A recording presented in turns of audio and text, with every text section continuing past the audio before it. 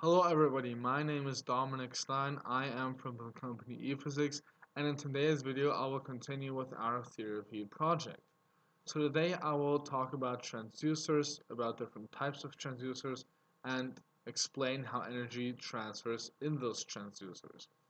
So first of all, what is a transducer? Well, a transducer is a device that converts one form of energy into another form of energy.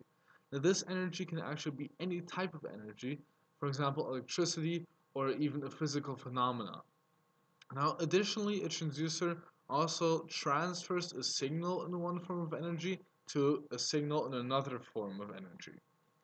Now there are actually many kinds, probably hundreds of different kinds of transducers, but there are also five main types of transducers. And the first one is the active transducer. Now the active transducer is very simple. It just converts one form of energy into another without needing an external power source. Now an example would be the thermocouple and the thermocouple basically converts a difference in temperature into an electric voltage. Yeah. Now the second type of transducer is the passive transducer. The passive transducer, when activated, changes a specific electrical quantity, such as resistance. Now to operate a passive transducer needs an external power source, often electrical current. Now the active transducer and the passive transducers both are often electrical transducers. Just the one doesn't need an external power source and the other one does. Now another type of transducer is the sensor and the sensor is actually a very special type of transducer because it is designed to detect a form or a specific characteristic of its environment.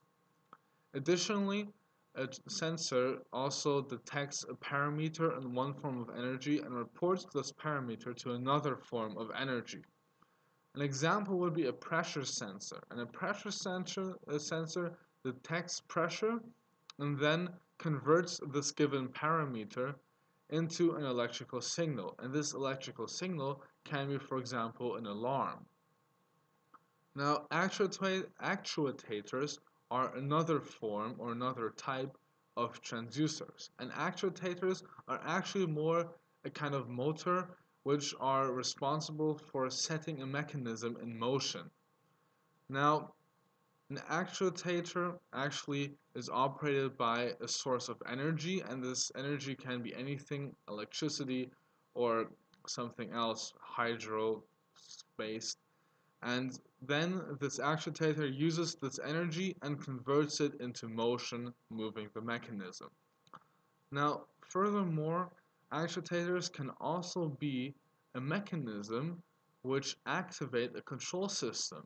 And this control system can be software based or it can be a, fixed mechanical system or an electronical system. Now lastly we have the bidirectional transducers and I think that those are the most special transducers and I'll, you will see why in a second. So the bidirectional transducer is actually able to convert a physical phenomena into electric signals and the other way around, electric signals into physical phenomena. Now one example would be the antenna radios and those actually convert conducted electrical signals into electromagnetic waves. Another example would be the voice coils and the voice coils convert a physical phenomena, so maybe sound, into electric signals and this often happens in microphones or electric signals into sound, which often happens in loudspeakers. And I think that that is fascinating that technology or those transducers are able to do that, to use physical phenomena and then convert it into electricity, electrical electrical signals. That is unbelievable for me. So yeah, that has basically been the whole video where I explained to you what transducers are, the different types of transducers, and how energy transfers in those transducers. Thank you all for watching. My name is Dominic Stein from the company ePhysics and I will see you in the next video. Bye bye.